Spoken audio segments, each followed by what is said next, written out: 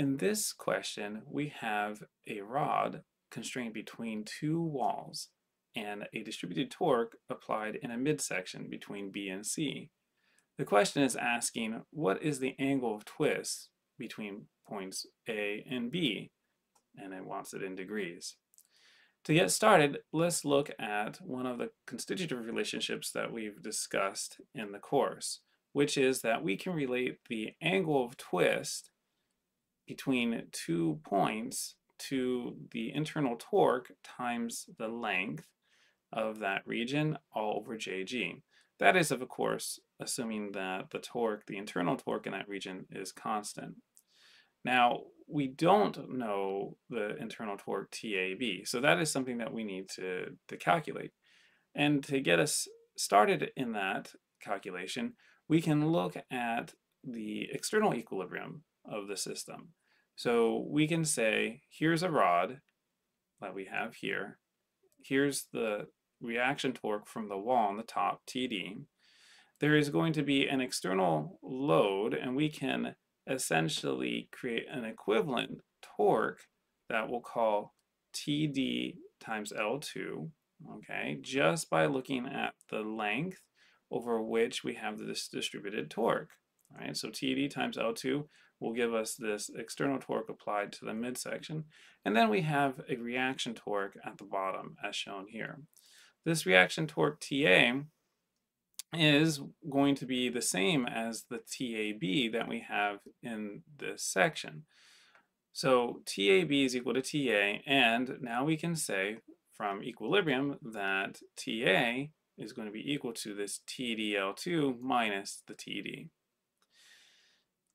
How do we go further? Well, we don't know what this T sub capital D is, and our approach is going to be use superposition.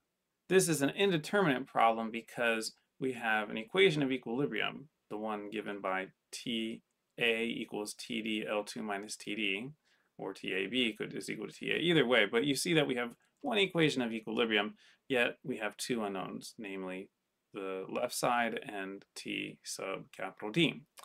So with an indeterminate problem, there are multiple ways to solve it. We could uh, focus mostly on geometric compatibility, or we can use superposition. So with superposition, we break the problem into two separate sub-problems where we have a distributed torque being applied to one problem here, one subproblem, and we have a torque on the top, this TD being applied to the problem without the distributed torque.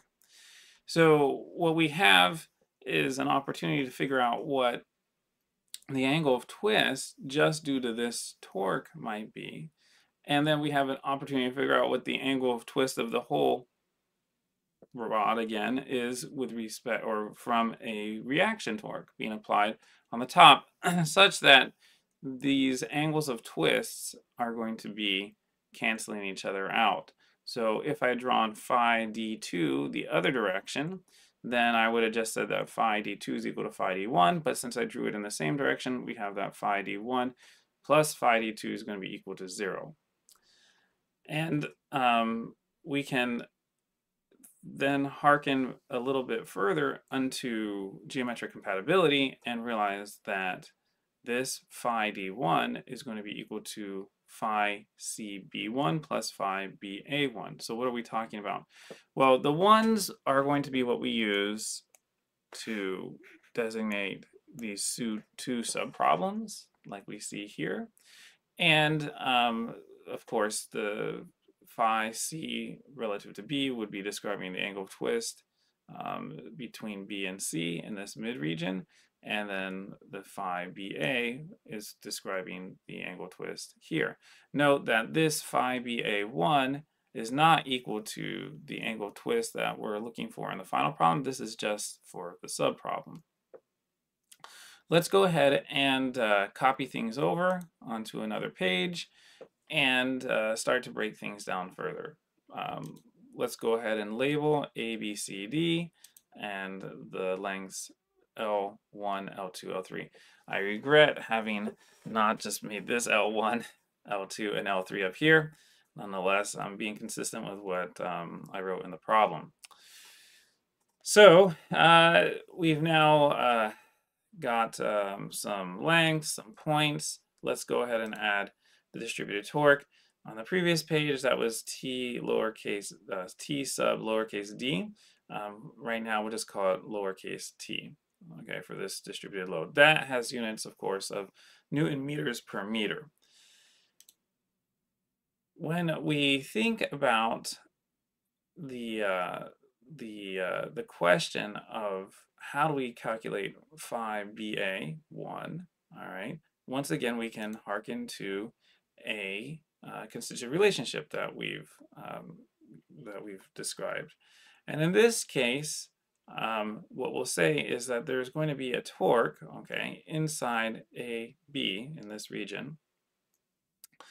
And uh, that torque, right, times uh, a length uh, divided by jg would give us this angle twist. The torque inside here um, is actually going to be equal to this lowercase t times the length L2.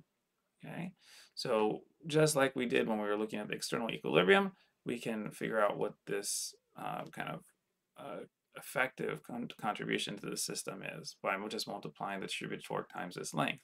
So that's the internal torque that we have here.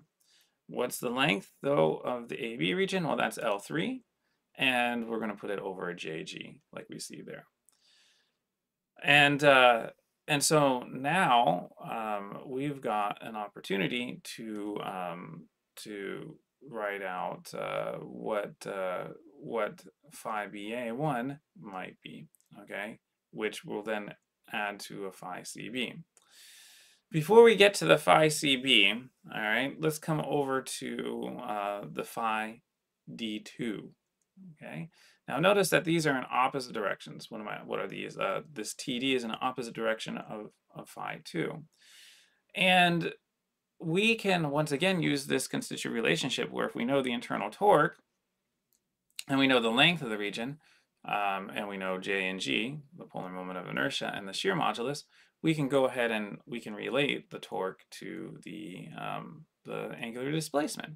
So here what we see is that the torque T sub capital D, all right, this one, times the length L1 plus L2 plus L3 all over JG, and a negative sign in front of it is going to be equal to phi D2. The negative sign is because we've drawn them in opposite directions. Now going to phi CB1, all right, let's take a look there. That's, there's another constitutive relationship we can use. We have CB with a distributed torque acting on it. And that means that we should use the integral form of Hooke's law for torsion. And so if we know what the internal torque is, and that's going to be non-constant, it's going to be a function of uh, the, the distance from B going to C or vice versa. And uh, we have the JG, so cross-section properties and material properties uh, we can do an inter we can take an integral of this quantity with respect to x to figure out what the overall angular displacement will be between two points. For equilibrium, let's take a look at what's what's happening and what are we talking about? Equilibrium between a and b all right? So this is uh, going here and we take a slice um, no no no no sorry not between a and b we're looking at the equilibrium between B and C, sorry. So we're going to take a slice here, all right? Um, so uh, we have a torque on the bottom, okay? That's the TA1, right? That's uh, being applied from the wall on the system. And uh, we go up some distance, right, to B. And then this slice is in between B and C, as we said. And then there's some distributed torque lowercase t acting on that portion. And we can say, all right, I'm going to go from where the distributed torque starts, so at point B, I'm going to call that going upward x. So uh, if we uh, look at uh, the, uh, the uh, summation of the torques, and this is actually an internal, um, I mean, you can uh, kind of see that we have, oh, sorry, no, no, no, this is, sorry. Uh, okay, if we look um, at the external equilibrium, all right, on this on this uh, bar over here on this rod here, we have a TL2, all right, which is uh, this T times L2, that's that effective torque, all right, from the distributed torque, minus uh, the TA1, right? That would be the reaction. So we have TA1 is equal to TL2. So now we can plug that or use that TA1 uh, when we perform our internal equilibrium calculation. Sorry for the confusion. So I was confused. So we have uh, the internal torque Ti, okay, that we're going to call being um, the internal torque uh, in between B and C. And we have this distributed torque and we have this external torque on the system. Now we perform equilibrium and we see that we have Ti acting in the same direction as lowercase t.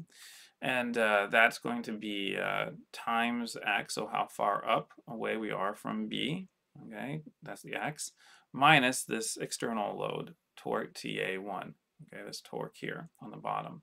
And so we can solve for the internal torque. So Ti is going to be equal to Ta1 minus Tx. That's what we are going to throw in this equation over here. So now we take the integral of this quantity, uh, Ta1, we also solve down here as TL2, so that's here, minus Tx, went from 0 to L2, and we're going to take the integral with respect to x. And we just move the, the 1 over jg outside. Um, so what does this uh, integral yield? It yields uh, that we have lowercase t L2 squared all over 2jg. We've got phi c b1 right over here, and we've got uh, phi ba1 over here. So uh, we can write an expression for phi d1. So this is the amount that the top of the bar would be, the top of the rod would be twisting just from this distributed load. And it's the amount we want to twist back with a reaction torque from the top wall such that the effective displacement at this end, at the top, is equal to zero. So here is our expression for uh, TD. What, what, what, what did we do here? Well, we said, uh, we recalled that we had that phi d1 plus phi d2 is equal to 0, right? So that means that we can add this plus this to each other, okay? And uh, we have, you know, there's a negative sign here, and so we can put TD times this whole thing equal to this thing, right, without the negative sign. So then we divide by uh, the L1 plus L2 plus L3. That's what you see in this denominator here. And the JGs cancel out. So TD is this expression right here. And if we substitute in the uh, lowercase t, that value that was given in the problem for, uh, as t sub lowercase d, all right, the expression looks like this. We're at an exciting moment. Why? Because now we had this indeterminate problem and we solved for the reaction torque at the top, which means that we can figure out what the reaction torque on the bottom is. And if we go back to the previous slide, what we had drawn here, right, is that with external equilibrium, we had our TD, our TA, and our TDL2, we can calculate out, now that we have TD and we have TDL2, what TAB is. And if we know TAB, then we can figure out what phi BA is. And that's what was that's what we're searching to find uh, to answer this question. So phi BA is equal to this quantity times, uh, well, there's an L3 over JG. Um, TD from the previous uh, and T, that's T uh, sub capital D from the previous uh, page is this expression here, which is dependent on the T uh, sub lowercase d, right, and these lengths as described. And uh, there's one thing we have not uh, calculated, which is j. So if you read this problem, and I, course, I didn't read it, of course, but I didn't read the whole problem before we started. Um, it says that uh, we have a polar moment of inertia that's uniform across the length of the pole, and the material of the pole has a shear modulus of 70 gigapascals. Great, so that's going to be the G. The outer radius of the pole is 2.9 centimeters, and the inner radius is 1.9 centimeter. So it has a constant polar moment of inertia, and it's actually hollow, because okay? it says that there's an inner radius. And maybe the writer of this problem, uh, me, could have uh, been more clear saying this is a hollow um, uh, pole, okay? But it's a it's a fire pole, okay, that Jumbo the elephant's using, and uh, and it, it just doesn't make much sense to to to use uh, a pole that is um, solid metal for that application. Uh, for the loads of a firefighter sliding down it, uh, and the diameter that it typically is, it's not going to need to be um, uh, uh, solid. Okay, uh, so uh, the J, all right, back to that. Got a little distracted. Jumbo came out um, with a with a statement here. Jumbo the elephant, and and so with with here we have that J is equal to pi over two times quantity C to the fourth for the outer. That's using the outer radius minus C i, which would be the inner radius, the 1.9 centimeters to the fourth. Okay, so let's go ahead. That's a that's a like three equations that we're going to combine, and there are enough variables and parameters here that I think that using Colab is not a bad idea. So for that, let's uh, let's let's let's uh, let's create a new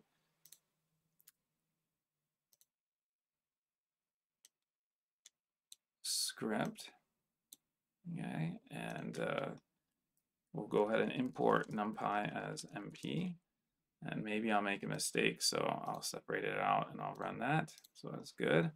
Um, here, let's see, uh, I don't have much space, but uh, we have a number of parameters. Okay, L3 is right there. Okay, good. I, I can see all the numbers now at least. So um, we have a an L1, which is going to be equal to 1 meter. We have an L2, which is going to be equal to 1.3 meters. We have an L3, which is going to be equal to 1.5 meters. We have, um, let's see, moving backwards, we have a TD, a T uh, lowercase d. Uh, well, we'll just do it like that, TD, that's fine. Um, and that's going to be uh, 1804, and that has units of newtons per meter just like that. And we have a shear modulus of 70 gigapascals. Okay. Um, the outer uh, radius, C naught or C0 co, is going to be 2.9 centimeters. The inner radius, CI, we'll call it, is going to be 1.9 centimeters. And what else? Do we have all the numbers? I think we might have all the numbers. So let's go ahead and figure out what J is. That's going to be, oops, times C0, C naught to the fourth minus C internal to the fourth. Okay, fine. I'll take you on that. That's that's nice of you. To give me a little bit of a break.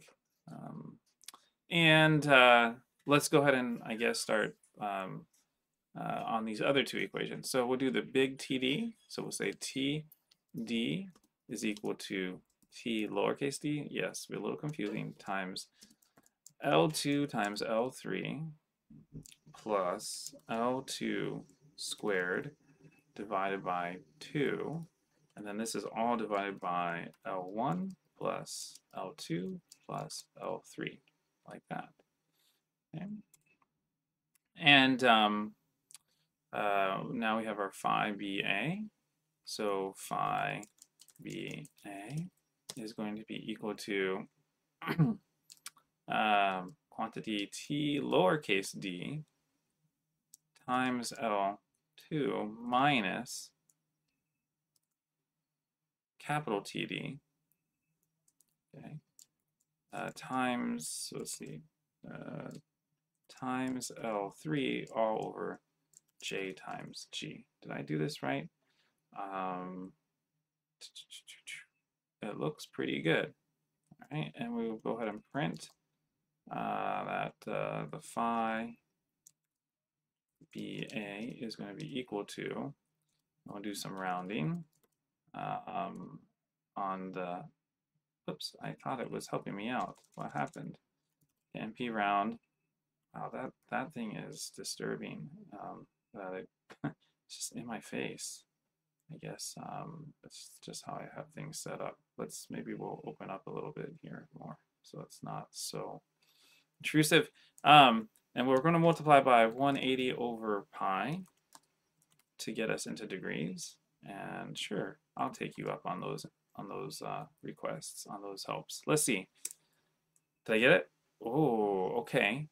Um, it says here that the angle of rotation is 5.32 degrees. All right. Um,